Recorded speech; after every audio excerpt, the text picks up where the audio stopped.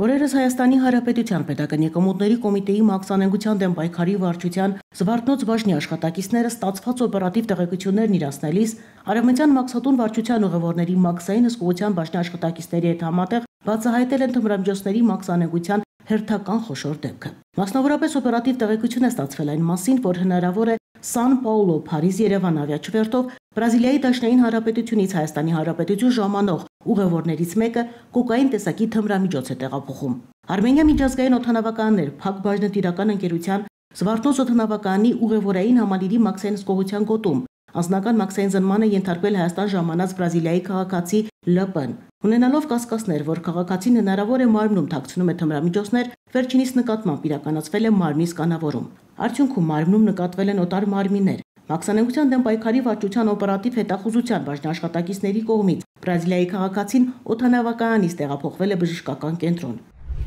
Իրականացված համակարգչային շերտագրման սկանավորման արդյունքում ողջվել է, որ նրա հաստ աղիքի հատվածում արկա են գնդաձև օտար մարմիններ, որոնք վերջինիս մարմնից դուրս են բերվել բժշկական տարբեր միջամտությունների արդյունքում։ Հայտնաբերվել է կոկային տեսակի թմրամիջոցին նմանվող թվով 120 հատ օվալաձև բարգուճ։ Այդ զանգվածների ընդհանուր քաշը կազմել է 1216 գրամ։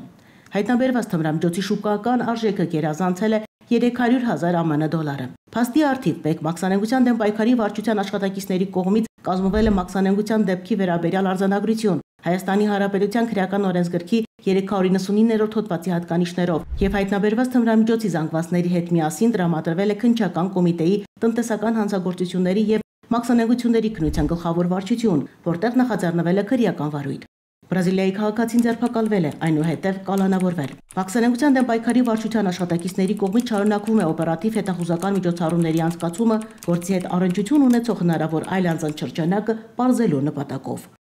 Պետական եկամուտների կոմիտեի տեղեկատվության եւ հասարակայնության հետ կապերի բաժին